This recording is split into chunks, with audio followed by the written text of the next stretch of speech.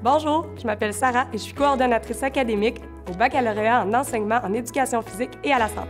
On a tous des souvenirs de nos cours d'éduc du primaire et du secondaire. Ce qu'on ne réalisait pas, c'est que le rôle de notre enseignant allait bien au-delà de celui de nous faire bouger à l'école. En fait, les enseignantes et les enseignants en éducation physique et à la santé utilisent l'activité physique pour agir sur le développement des élèves. Si vous choisissez cette carrière, vous aurez à élaborer des situations d'apprentissage et d'évaluation, ainsi que des stratégies de gestion de classe, comme c'est le cas pour les autres matières. Vous aurez aussi à sensibiliser vos élèves à l'importance d'adopter de saines habitudes de vie.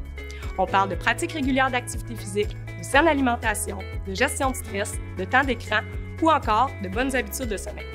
Comme vous êtes la personne experte en saines habitudes de vie de votre milieu scolaire, vous aurez aussi à accompagner l'équipe enseignante dans tout ce qui touche la pratique d'activité physique à l'école.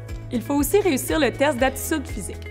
En fait, les personnes qui s'intéressent à ce programme possèdent déjà des aptitudes ou des habiletés pour réussir ce test. Nous cherchons surtout des personnes qui sont polyvalentes, non des spécialistes ou des experts.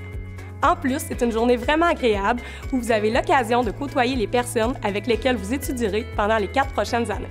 Dans la majorité des cours, vous ferez de l'apprentissage dans l'action, que ce soit par le biais de simulation ou lorsque vous aurez à planifier des cours et à les enseigner aux autres personnes étudiantes. De la pratique, il y en a particulièrement lors des activités didactiques. Ce sont des cours où vous aurez l'occasion d'apprendre comment enseigner une multitude d'activités physiques et sportives. Et ça, il y en a beaucoup à l'Université de Sherbrooke. Vous aurez même l'occasion d'apprendre à enseigner des sports émergents.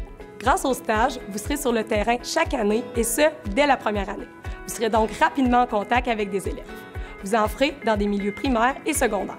Et vous pourrez même faire la plupart des stages dans la région de votre choix. Pour enseigner, il faut un brevet d'enseignement délivré par le ministère de l'Éducation.